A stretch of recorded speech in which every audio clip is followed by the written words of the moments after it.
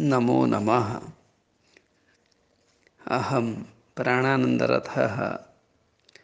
न खलु वयः तेजसः हेतुः। विषये किञ्चित् विवक्तुम् इच्छामि। एतत् बहु समीचीनम् अस्ति यत्। वयः कदापि तेजसः हेतुः न भवति। तेज नाम पराक्रमः, तेजः पराक्रमः। यत्र यस्मिन् पुरुषे वा तेजः वर्तते, पराक्रमः वर्तते, तस्य पराक्रमस्य कारणं केवलं वयः न भवति। वयसं परित्यज्य अन्यत् कारणम् अपि वर्तते। सर्वे सर्वे जानन्ति, धैर्यम् अपि एकं साधनं भवति। यदि मनुष्ये धैर्यं विद्यते, धैर्यं वर्तते, एतादृशः मनुष्यः अग्रे गन्तुं शक्नोति। धैर्यवान् मनुष्यः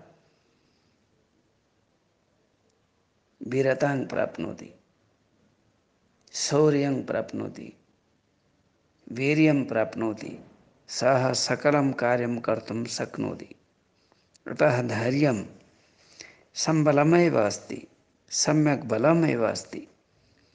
धैर्येण साध्यते सर्वं, तथा श्रितसागरे कथितमस्ति। यस्मिन् धैर्यं विद्यते, सः सर्वं कर्तुं पारयति।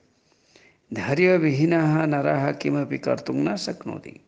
अतः धैर्यं धारणीयं यदि धैर्यं वर्तते, अस्माकं मनसि बुद्धौ तदा वयं बुद्धेः धैर्येण एव असम्भवं कार्यं कर्तुं समर्थाः भविष्यामः।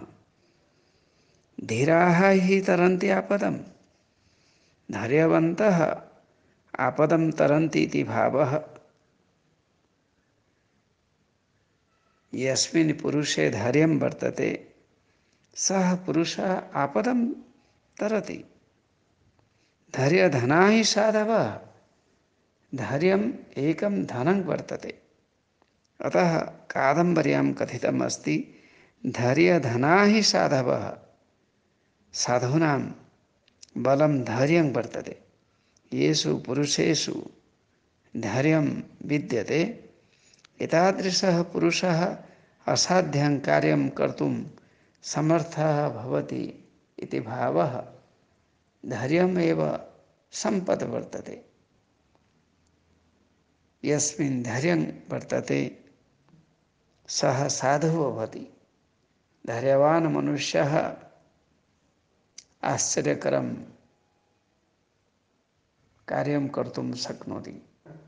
अतः धैर्यम् एव शक्तिः, धैर्यम् एव बलं धैर्यम् एव सर्वस्वं विद्यते। अतः धैर्यस्य वृद्धिः करणीया। सर्वेषु धैर्यसम्पदः वृद्धिः कथं भविष्यति तस्मिन् विषये चिन्ता करणीया। समीक्षा करणीया कौशलमेव ग्रहणीय एतेन अस्माकं सिद्धिः भविष्यति इति शक्यते। नमो नमः। नमो नमः।